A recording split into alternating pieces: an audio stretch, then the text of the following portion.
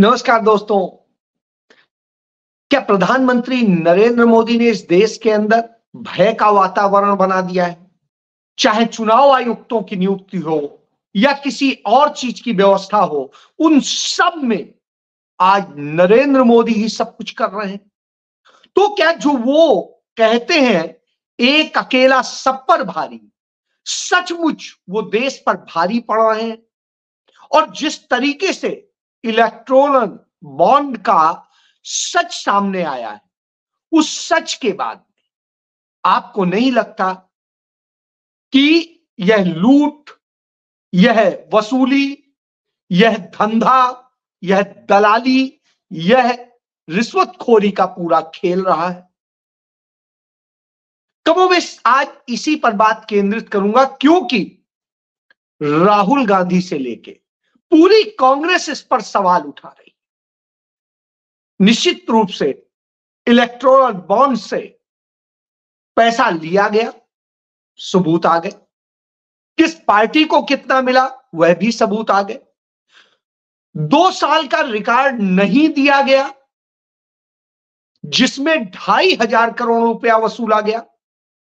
और वो जो ढाई हज़ार करोड़ रुपया वसूला गया उसमें कौन कौन लोग हैं? उनका रिकॉर्ड क्यों नहीं दिया गया? ये सारी चीज़ें सामने हैं। जब ये सारी चीज़ें सामने हो, क्योंकि तमाम सारे लोग सवाल पूछते हैं, क्या कि इसमें अडानी का नाम क्यों नहीं है? इसमें अंबानी का काम, नाम क्यों नहीं है? इसमें इसका नाम क्यों नहीं है? तो तमाम नाम, तमाम लोग किस तरीके से कैसे ऑपरेट कर रहे थे? और उनको यहाँ से ही पैसा देने की ज़रूरत ही नहीं। वो तो अपना प्लेन भी दे रहे हैं, अपनी दूसरी व्यवस्थाएँ भी दे रहे हैं, उनका तो पैसा दूसरे मोड से टर्न हो रहा है। सिर्फ़ यही पैसा नहीं होता है। इसलिए यह भी समझने की ज़रूरत है। तो चलिए आज मैं शुरुआत करता हूँ। आप याद करिए 25 दिसंबर 2015 उस तारीख को अचानक भारत के वायुसेना का हेलीकॉप्टर उड़ता है, वो जा कहीं और रहा होता है और वो अचानक जाकर के लाहौर में उतर जाता है। लाहौर में उतरता है, वहाँ के प्रधानमंत्री के यहाँ हमारे प्रधानमंत्री पहुँच जाते हैं, गले लगते हैं, उनकी माँ को प्रणाम करते हैं, साल पहनाते हैं और न जाने क्या क्या चर्चा होती है, भोजन होता है, तमाम चीज़ें होती प्रोटोकॉल एक होता है। उस प्रोटोकॉल का सारा नाम टूट जाते यह कह के, जो गोदी मीडिया है चरण चुंबक मीडिया है, वो बखान करने लगता है, देखो, नरेंद्र मोदी अचानक जाके पाकिस्तान में उतर गए। ये कोई महान कार्य नहीं था। इस देश के लिए, जिन लोगों ने इस देश की आज़ादी के लिए, इस देश को बचाने के लिए कुर्बानियाँ दी थी, जिन्होंने इस देश की सीमाएँ बचाने के लिए कुर्बानियाँ दी थी, यह उनके मुँह पर तमाचा मारा जा रहा था, सरेआम मारा जा रहा था। अभी हाल में आरएसएस के जो संघ प्रमुख हैं, वो मोहन भागवत कहते हैं कि पाकिस्तान तो हमारा भाई है। हमने कब कहा दुश्मन दुश्मन तो आपने ही कहा था। आपने ही बांटने की बात करी थी। आपने ही कहा था कि हम एक साथ नहीं रह सकते। 1937 से लगातार चिल्लाते आए। हर प्रस्ताव आप लोगों ने पास किया। किसी और ने तो नहीं किया था। इतना मजबूर किया कि जो केंद्रीय समिति थी, उस समिति के बड़े भारे उसमें विरोध पैदा किया और नतीजतन भारत को दो टुकड़े होने पड़ा। तो वो मुस्लिम लीग के साथ में मिलकर सरकार चलाने वाले आप थे और तोड़ने वाले आप थे। तो फिर पाकिस्तान को दुश्मन किसने बना दिया? आपने। और जब आपने दुश्मन बनाया तो दुश्मन के यहाँ क्यों पहुँचे? बड़े दिनों से इस सवाल को तलाशा जा रहा था। इसका जवाब बता प्रधानमंत्री वहाँ से चले आते हैं। वैसे ही, जैसे ही प्रधानमंत्री भारत में आते हैं, उसी के साथ साथ वहाँ से पाकिस्तान की आईएसआई के एजेंट्स जो है, कमांडोज हमारे यहाँ आ जाते हैं। और जो कमांडोज आते हैं, वो वायुसेना के सबसे अहम सेंटर, पठानकोट सेंटर में। जो एयर बेस है, जहाँ से हम चाइना को रन करते हैं, जहाँ से हम पाकिस्तान को रन करते हैं, वहाँ पर आकर के दो जनवरी को की रात, एक दो की जनवरी की रात अटैक कर देते हैं। हम जश्न में नए साल के डूबे होते हैं और हमारे यहाँ अटैक हो जाता है।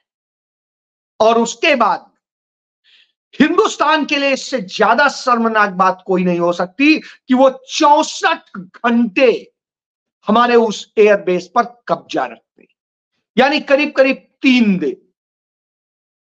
हम उन तीन दिन कुछ नहीं कर पाते और वहाँ पर जितना हमारा सारा खुफिया का ऑपरेशन का सारी चीज़ रहती है, वो उनके हाथ लग जाती है और उसके बाद वो निकल लेते हमारे तमाम सैनिक मरते हमारे तमाम सेंटर्स प्रभावित होते हैं। कैसे उसी के साथ ये क्रोनोलॉजी समझिए, जो अमित शाह क्रोनोलॉजी समझाते हैं, वो समझिए।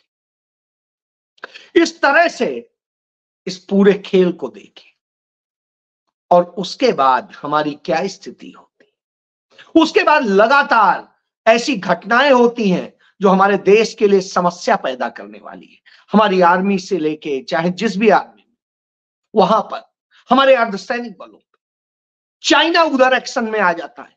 वो धीरे से भड़कने लगता है इधर उधर इधर करता है, कभी डोकलाम करता है, कभी अरुणाचल सारी चीज़ें आ जाती हैं। कभी उत्तराखंड में, कभी लद्दाख में तो वो खेल चलता है। इसके बाद में 2019 के चुनाव में हमने देखा तो क्या प्रधानमंत्री वहाँ गए थे?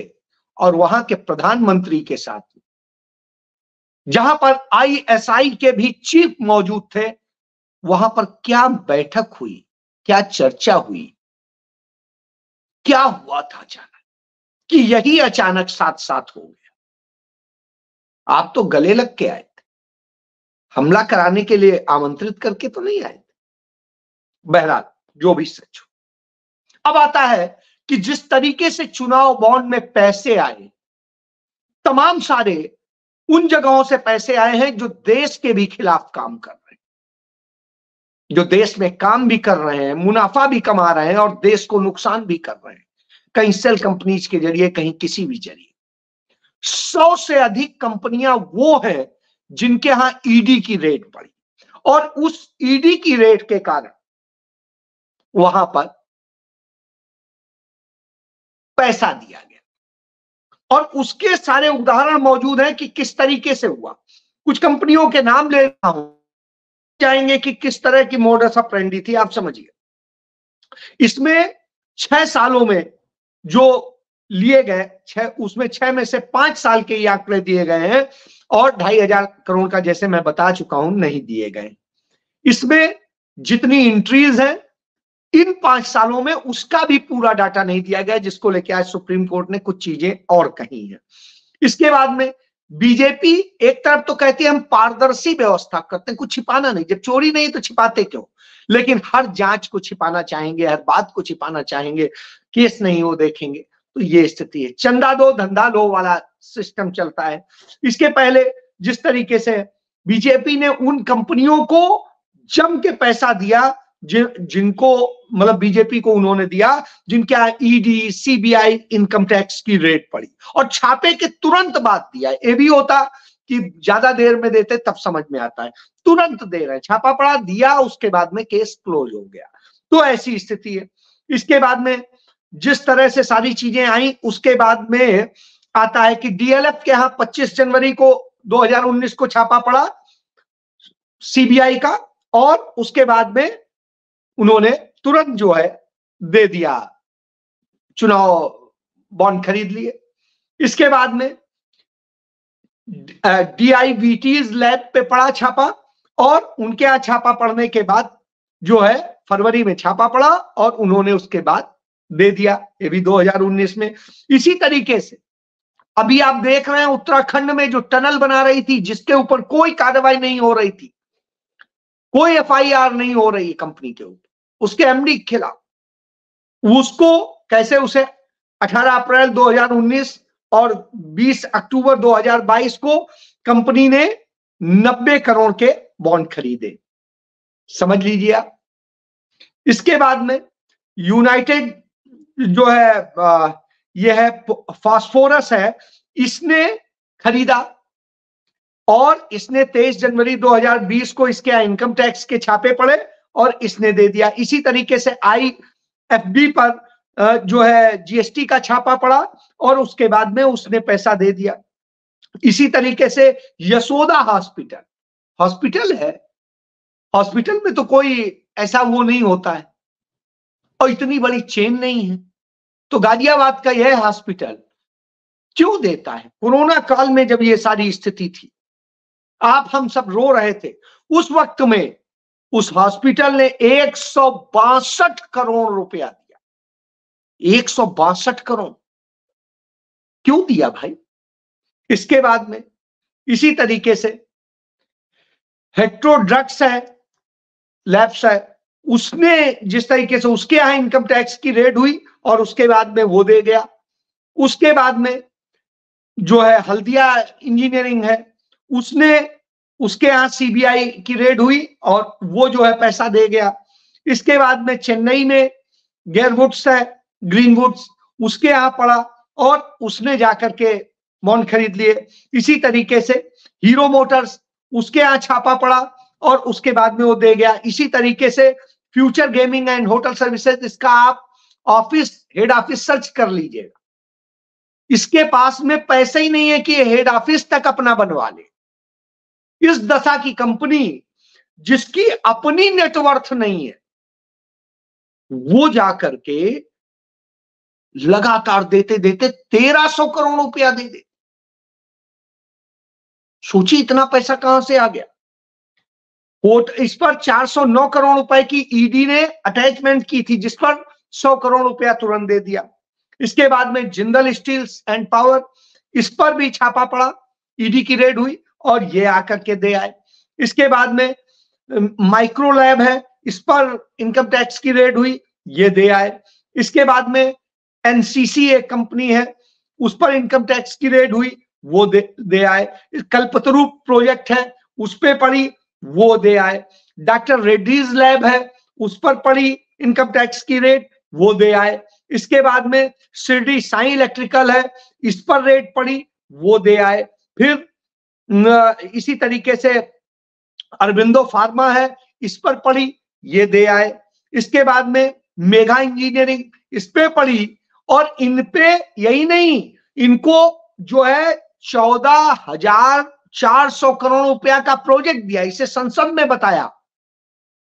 खुद भूतल परिवहन मंत्री नितिन गडकरी ने, और साहब, ये आकर के देगा इतनी भारी भरकम रकम। तो ये समझिए सीरम इंस्टीट्यूट सबको ही जानता है। हम लोगों ने तमाम वैक्सीन लगवाई हैं। इन, इनसे था, ये जो है, धंधे का दे आए, बावन करोड़ रुपया। इसके बाद में वेदांता, अनिल अग्रवाल बहुत खास है नरेंद्र मोदी के, वो दे आए। इसी तरह टोरेंट पावर गुजरात की है, वो दे आई। इसी बाद में आईआरबी नेफ्रा है, वो दे आई। छह हज़ार करोड़ का इसे प्रोजेक्ट मिला। इसके बाद में एपीएम को इंफ्रा ये दिया दो दर्जन मैं आपको बता चुका हूँ। इसके अलावा बहुत हैं, कई सीमेंट के हैं, कई उसके हैं, और इनमें से मित्तल है, मित्तल ग्रुप है। तो ये तीन दर्जन की तो लिस्ट मैं इस तरह से बता रहा हूँ। और हालत ये है कि इसी तरह का खेल चलता है। और यह खेल ऐसे ही नहीं है, इस खेल को समझने वाला है। यह खेल क्या है? ये असलियत में डराइए, धमकाइए, कुछ भी करिए, पैसा वसूलिए। कहीं आपसे, जैसे गली के गुंडे होते थे, इलाके में दुकान चलाने वालों गए, इतना तुम्हें देना, इतना तुम्हें देना, इतना तुम्हें, नहीं तो काम नहीं करने देंगे, ये नहीं करने देंगे। इस तरह की स्थितियाँ। और जब इस तरह की स्थितियाँ हो तो निश्चित रूप से एक भय का वातावरण बनता है, वह भय का वातावरण बनाया। आज नरेंद्र मोदी केरल में बोल रहे थे, और केरल में बोल रहे थे कि राज्य की जनता भय से त्रस्त है और बदलाव की मांग कर रही साहब, ये आप कहाँ के लिए कह रहे हैं? केरल के लिए या पूरे देश के लिए? क्योंकि लोकसभा के चुनाव के साथ में कुछ राज्यों के भी चुनाव और उस बदलाव की बात हो रही है। और वो बदलाव हो रहा है, मांग हो रही है कि आपने जिन लोगों को जिस तरीके से दबाया है, जिस तरीके से किया है, वो बदलाव की बात कर रहे हैं। किसान बदलाव की बात कर रहा है, युवा बदलाव की बात कर रहे हैं, महिलाएँ बदलाव की बात कर रहे हैं, पिछड़े बदलाव की बात कर रहे हैं, दलित बदलाव की बात कर रहे हैं, आदिवासी बदलाव की बात कर रहे हैं। तो बदलाव की बात तो सब जगह हो। और जो हालत आपने करी है, उसके बाद में समझा जा सकता है। यही वजह है, बलिया में एक घटना हुई। वहाँ के जो भाजपा के सांसद हैं, वो अपने क्षेत्र में गए। उनके क्षेत्र के लोगों ने उन्हें भगा दिया, खदेड़ दिया। आप इससे समझ सकते हैं इस तरह की स्थिति हो रही। उन जगहों जहाँ पे बताते हैं कि जाने कितने पार वाली गणित बताते हैं, इसी तरीके से हम पाकिस्तानी और दूसरे कनेक्शन भी सामने आ रहे हैं इसमें कि किस तरह से बाईस हज़ार दो सौ सत्रह करोड़ रुपया का जो इलेक्ट्रल बॉन्ड लिए गए और उनमें जिस तरीके से बॉन्ड के पीछे कहानी है, वो अपने आप में समझ में आता है। गेमिंग कंपनी का मैं बता ही चुका हूँ कि जिस तरह की हालत है। तो ये जनतंत्र की हत्या करने वाले में मीडिया भी शामिल है। ये मीडिया संस्थानों ने जिस तरीके से काम किया है और जिस तरीके से इसको ढकने का काम किया है तो ये मेन स्ट्रीम मीडिया, लोकतंत्र की हत्या में शामिल है, जो अपने आप को चौथा स्तंभ होने का दम भरता है। तो यह स्थिति इसके बाद में जिस तरह से कि जैसे पहले होता था गली के गुंडे व्यापारियों को परेशान करते थे, व्यापार में सहूलियत के लिए, सुरक्षा के लिए और इस बात के लिए कि देखो दूसरा आएगा तो हम बचाएँगे, पैसा दो। इसके बाद में तो वो रंगा बिल्ला वाला जो खेल चल रहा है, वो रंगा बिल्ला वाला खेल समझ तो उस तरीके से होता है। तो इसीलिए सारी सवाल आते हैं कि आखिर इस तरह का पूरा खेल क्यों है और क्यों किया जाएगा? न खाऊँगा, न खाने दूँगा की बात कहते थे। और स्थिति यह है कि अकेले खाऊँगा, तुमको खाने नहीं दूँगा, सबको बाकी भूखा मार दूँगा। बाकी आप भिखारी बन के आ जाइए। तो इस तरह से है और खुलासे में जो सारी बातें कहते थे, इसको लेके बड़ी सारी बातें आई। आज जब सुप्रीम कोर्ट में बहस हुई तो इसी को लेके हुई कि आप जहाँ टू और दूसरे घोटालों की बात करते थे, वहाँ पर तो एफआईआर भी दर्ज की, तत्कालीन सरकार ने, कांग्रेस सरकार ने, गिरफ्तारी भी की, जाँच भी की, और अदालत को बताया सारा फैब आपके समय में उसकी पैरवी होनी थी। आपके समय में कहा गया, नहीं, हमारे पास कोई सबूत नहीं। आपने और नतीजतन कोर्ट ने उसे कहा कि हाँ लेकिन आपने तो इतने बड़े बड़े घोटाले कर दिए जिन पे ना आप जाँच करने को तैयार है, ना बोलने को तैयार तो जब यह दशा हो तो निश्चित रूप से सवाल होता है। जब यूपी में सिपाही की भर्ती का परीक्षा लीक होता है तो साहब कनेक्शन क्या मिलता है कि उसका पूरा जो लीक करने का काम किया गया था, वो गुजरात में बैठ के किया गया था। और गुजरात में जितनी परीक्षाएँ हुई हैं, सबके पेपर लीक गुजरात से ही कनेक्शन जुड़ा हुआ है, जो पेपर लीक हुआ, राजस्थान में भी, जिसको लेके भाजपा ने इतना शोर मचाया। तो सारे में भारतीय जनता पार्टी से ही जुड़े लोग और गुजरात कनेक्शन ही क्यों निकल रहा और ये गुजरात का जो मॉडल है, ये यही रेंसम वाला मॉडल है। गुजरात के आप व्यापारियों से बात कीजिएगा, वहाँ इसी तरीके की वसूली का क्रम तो वो छोटे स्तर पे होता है। अब देश स्तर पर हो रहा है। और उसके बाद में, उसे नेरेटिव में बदलने के लिए कहा जाता है कि पाकिस्तान को ये, चीन को ये, और वही चीन के साथ सौदे किए जाते हैं। आप देखिए, एक रोड बन रही है जिसको चीन के सहयोग से, और वो किस तरीके से माम्यार होते हुए, मणिपुर के पास से होते हुए, और वो निकलेगी और वो जाएगी थाईलैंड। उसका लाभ किसे मिलेगा? आप तो नहीं जाएँगे। इतना फालतू टाइम तो नहीं है आपके पास। तो वो वास्तव में नॉर्थ ईस्ट को चाइना के पूरे रडार पे खड़ा कर देने का खेल इसलिए इस तरह के खेल। इसलिए आज चिंता का विषय यही विषय तो राहुल गांधी बार बार उठाते और राहुल गांधी यही कहते हैं कि मोदी के कनेक्शन और मोदी की एक्टिविटी और ये सारी चीज़ें चेक करने वाली है कि कैसे कैसे उनके किन किन एजेंसियों से संपर्क और उनके ज़रिए वो क्या खेल करते हैं। चुनाव जीतने के लिए भी उनका इस्तेमाल करते हैं। तो ये सारी चीज़ें अब सामने आने लगी। जब यह आने लगी तो जवाब तो आपको देना है। जय।